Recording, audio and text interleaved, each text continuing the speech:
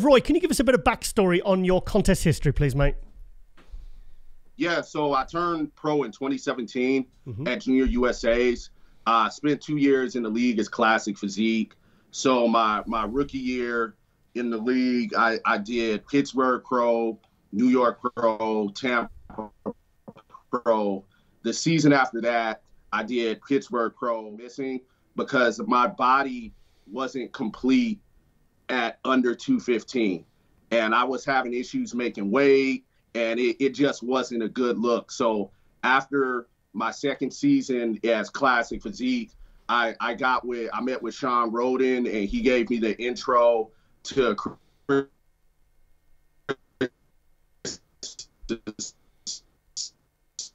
Tito yep.